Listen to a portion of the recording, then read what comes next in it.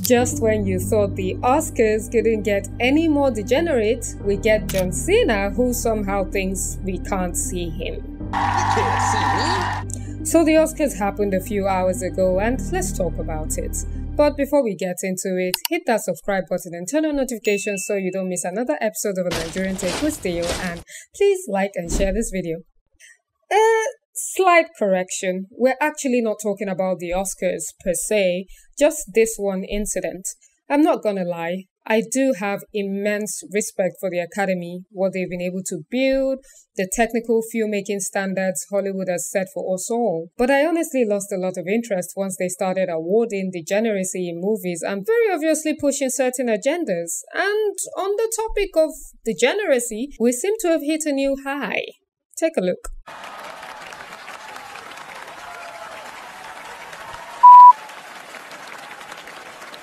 Costumes. Oh Lord. Oh. I didn't think it could get much worse than the Will Smith slap incident, but I suppose the West does know how to outdo itself. To be fair, Will Smith acted on his own accord, and the Academy didn't have much time to take his name off the Oscar. You know, something to send the message that we as an award don't condone violent conduct right on our stage. But it seems in this case the Academy wanted to outdo Will Smith because respectfully, what in the actual flying hula hooping us is this? This is a planned skit. They signed off on this, and not one person involved in this process could mention that it's probably probably a bad idea to have one of your hosts call out nominations for unironically best costume but naked? I know this was meant to be a joke about the infamous 1974 Streaker moment. The award for the Best Picture is never lightly given. And now, to divulge the contents of this year's most important envelope, is a very important contributor to world entertainment and someone quite likely.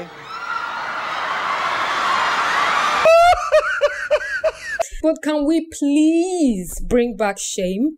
Because this is supposed to be the biggest award ceremony in the world of cinema. It's supposed to be taken seriously? With the actors and the people doing great BTS work being the main focus of the event, for example, moments like Ryan Gosling performing his mega hits I'm Just Ken or Oppenheimer winning Best Picture. Not some naked dude showing us parts of him we did not consent to.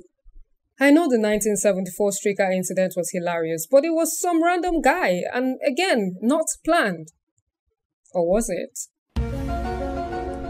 Anyway, it was pretty random. John Cena, on the other hand, being allowed to do that when presenting an award is just downright disturbing. And I was glad to see that the internet is just as weirded out as I am. Somebody said, What is John Cena doing to himself? After last night, I will never support another Hollywood film again. At John Cena, to let yourself be degraded, it's worse than Will Smith losing his cool. Hollywood is a woke at Disney disaster. This one says the impact of such display on children who idolize John Cena cannot be understated. By presenting himself in such a way, he is inadvertently promoting the idea that it is okay to abandon one's values and beliefs for the sake of money or acceptance. Dude be working overtime for a colorful Hollywood acting career. High possibility of being trans in the next few years. I, this is how it starts, really. He has a point. Society in decadency, soon no moral left. John Cena miscalculated on this one. A lot of people look up to him because he's the most popular WWE superstar and has a lot of fan base. I don't understand the motive for going full nude on stage, but it's an own goal for me. It's definitely an own goal for me too. With each passing day, I learned the difference between masculine man and muscular man. That's a good one. While I was reading through all the tweets, I came across a video of the Tate brothers reacting to it. And though I won't be playing that here because I'd very much like for my video to not be buried by the dumb algorithm which doesn't understand context. The funniest part of the video was Tristan drawing that naked guy chart while Top G spoke and looking so serious about it. I played it without sound and it was hilarious. Interestingly, they mentioned something called a humiliation ritual, and a lot of other tweets did so too. This somehow, somehow, was my first time hearing that phrase, so I googled it, and it's apparently defined as when a record label, an organization in this case, forces or bribes their artists into doing things they wouldn't normally do to weaken and destruct the society slash audience they market to interesting. It reminded me immediately of this Katt Williams interview that went super viral back in January. Take a look. Or was it December? I think it was December. I can't remember. January, December, whatever. Take a look. Martin tried to put me in my first dress. You know, we get in that office and this fool pull out Big Mama's house too. I almost died. It's BS like this Katt was talking about even as long as seven years ago. And this is what it has come to. How can people be okay with a man as macho, ripped, built, toned as John Cena doing that?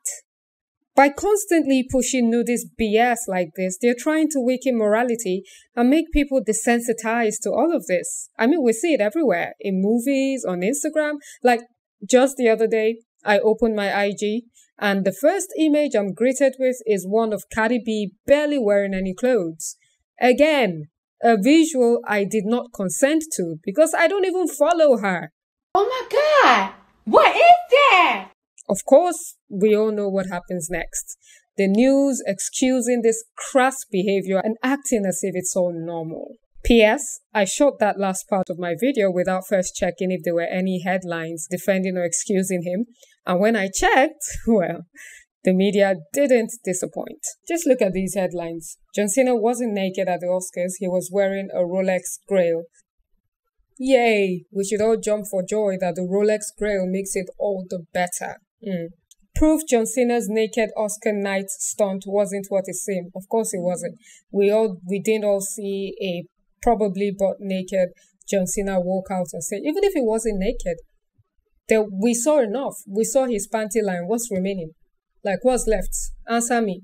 This is just how predictable all of this is. I really do fear for the next generation because I doubt this will stop or go away. Just a few years ago, doing stuff like this on an award show stage would have been unacceptable. But here we are, in 2024, burying our heads in the sands of degeneracy. This is degeneracy, clear as night and day, and it only stops when the world decides to take an unshakable stand against it. I'm all for a good joke, but I didn't find this one very funny. It was rather distasteful and eerily reflective of just how low society has fallen. However, I'd like to hear from you. What do you think about this whole situation? Am I taking it a bit too seriously, perhaps? Comment below and till next time. My name is Deo. Thank you for watching.